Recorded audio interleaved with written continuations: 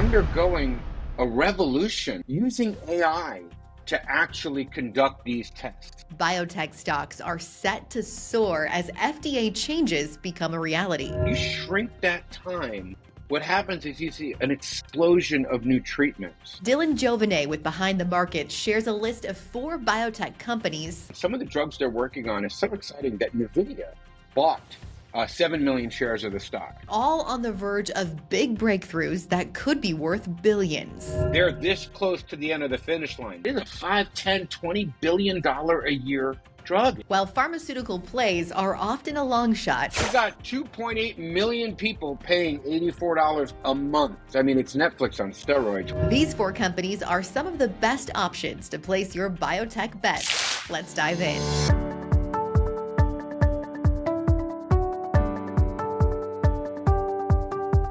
Great to have you back on the channel. We always love sharing some of your expertise with our investors. We're going to dive into a really interesting sector today, and that is biotech. There have been a lot of headlines and a lot of moves in many of these stocks in just the last week or so.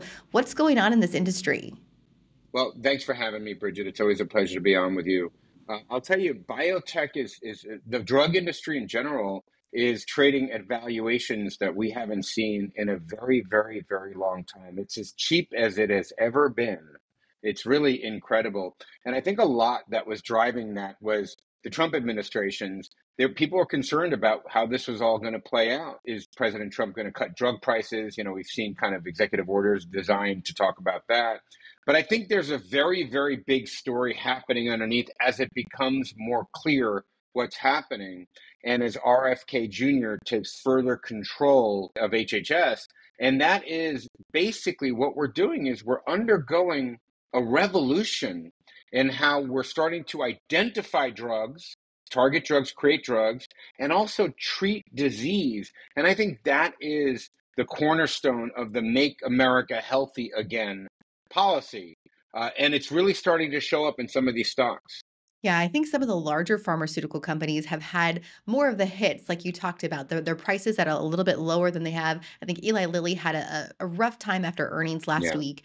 But there are other companies in Mm. biotech that are really seeing some positive gains. And you have a list today of four biotech companies that are really set for a strong future ahead. So why don't we start with that first company and what's driving some of the success behind it?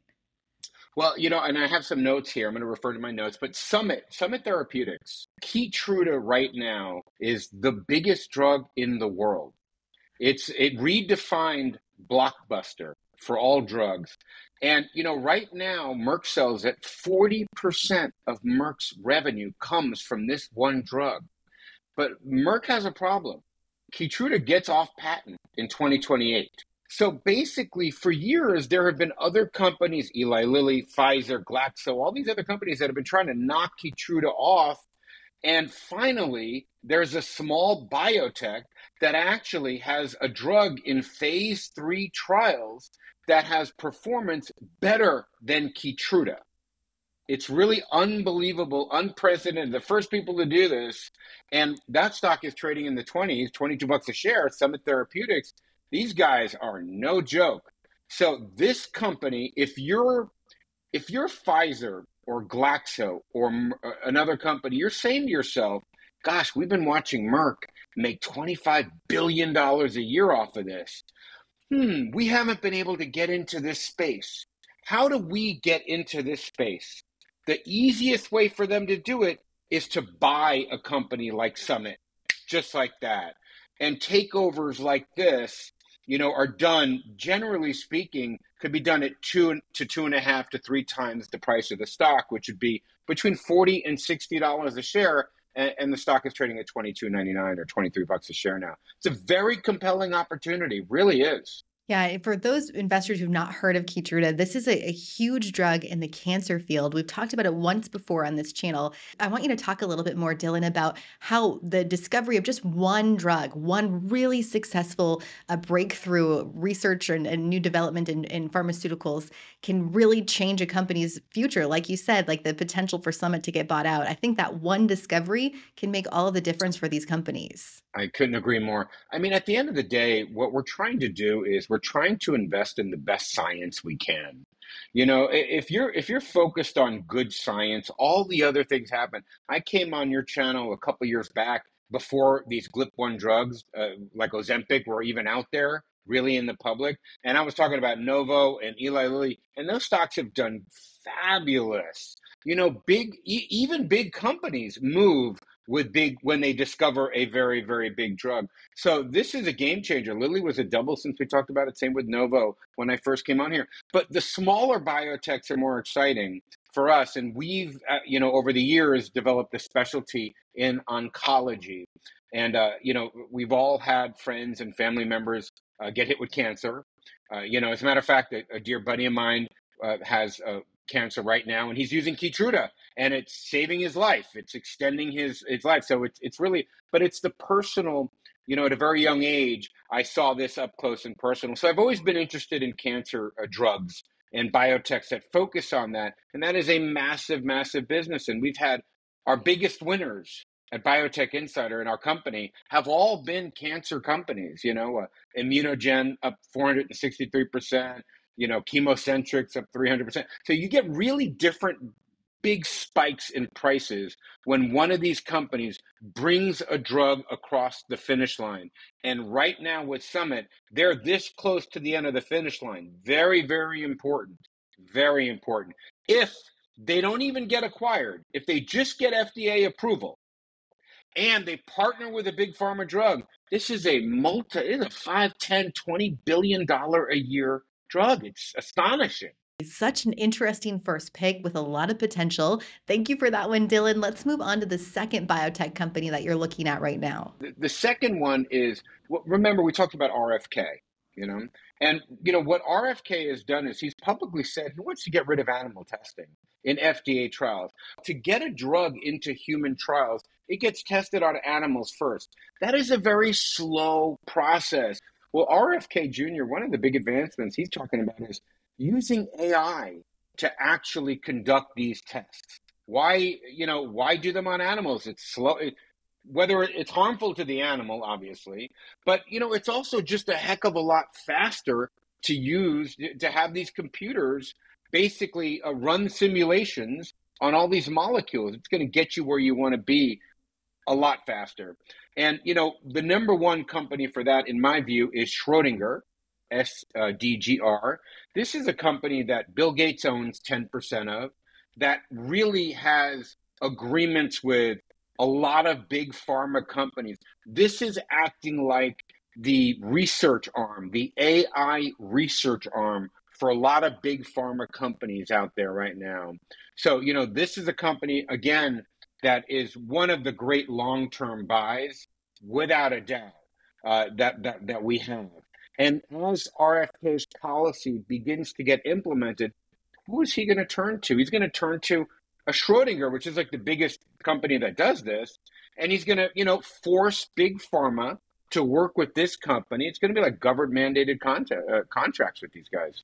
Yeah, that's where the real potential is with the future of AI is these companies that have learned how to harness it for real practical uses. And one of the most practical uses, like you said, is this research, is getting large amounts of data done in a very small amount of time. I know you take a much closer look at these companies and which ones have the biggest potential to profit from the use of AI in healthcare in your latest special report on the AI company that's revolutionizing medicine. You can scan the QR code right now or click the link in the description of this video to go to Dylan's full report and take a much deeper dive into the growth potential AI is adding to the biotech field. Uh, Dylan, I want to move on to your third pick, which is also related to AI research. Now, this is a very, very interesting company. You get the smartest scientists and AI re- computational researchers, basically, from a couple different companies, and you put them together and you get Recursion. Some of the drugs they're working on is so exciting that NVIDIA bought uh, 7 million shares of the stock.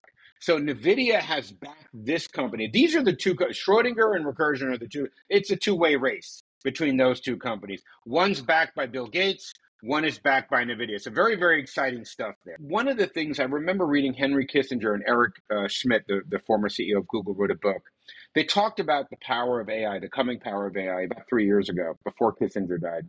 And he said that AI invented a chess move that no human had ever contemplated in history. Very, very big. They're looking at things differently than us.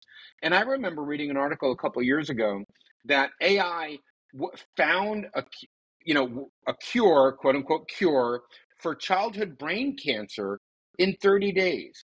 It found a cure for another type of cancer in like 24 hours. What they were doing is they were running, and I say cure very loosely, okay? What they think they're doing is they're running these simulations.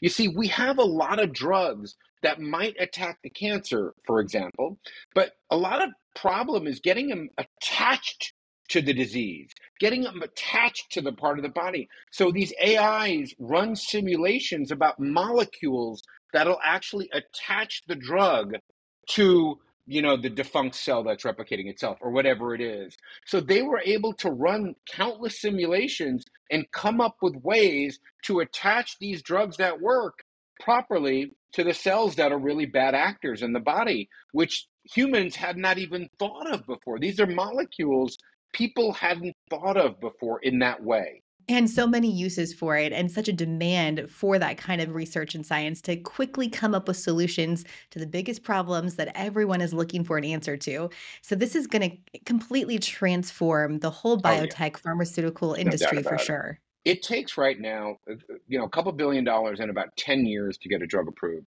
to take it from lab to patient you know a lot of them end in failure most of them the vast majority of them if you could reduce that time from 10 years which let's say getting rid of animal testing you know and actually you you get rid of you shrink that time what happens is you see an explosion of new treatments because that excess cash gets invested in other areas instead of one drug that takes 10 years yeah, such a great point. Uh, and a huge revolution of how AI is impacting healthcare. This last stock on your list is hmm. also really interesting because it's another way that AI is kind of transforming not just biotech and pharmaceuticals, but really healthcare in general. Yeah, and this is HIMS. You know, famously, everybody's talking about HIMS. What an exciting company. Now, you know, uh, RFK and Dr. Oz are talking about you know AI and biotech, but you know they're also talking about transforming how uh, people are treated, diseases are treated. You know, and and HIMS is a telehealth company. You know, very much like a Netflix. It's a one to one company. It's a platform company. You know, they they very much like this. Uh, somebody like me, a patient, sits with somebody like you, a doctor, and I tell you my problems, and you prescribe or you you know give me your advice. It's it's it's it's fascinating. They just came out with numbers, and I mean they're just killing it. I mean, the stock is trading, uh, you know, right around 60 bucks a share. And, you know, revenue doubled to, to 585 million, profits were 50 million. Subscriber growth was up 38% to 2.4 million. And most importantly, their average revenue per subscriber jumped from 55 to 84 dollars per person. So they've got 2.8 million people paying $84 a month for access to this. I mean, it's Netflix on steroids when you think of this average revenue. So, you know, that is a very, very interesting company to me. And you have a situation where 30% short position on it. So 30% of their stock is short. So you have the potential for a massive short squeeze here. And, uh, you know, that's very, very interesting to me. Uh, and finally, they just um, there there was some trouble. There was some debate whether a lot of their growth has come from these GLP-1 drugs, these uh, Ozempic type drugs, these weight loss drugs. A lot of they just cut a deal with Novo Nordisk that really uh, where they're able to sell Novo's drugs right there on HIMS.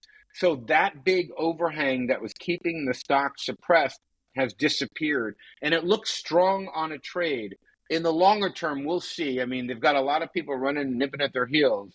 But these guys, I'll tell you, they know how to run a business. The really interesting number to me that you just shared, Dylan, is that look at the people who are already using it are using it more. So that means customers are very satisfied with the, the product and what they've created. And that's always a good sign yeah, for long term growth for the company.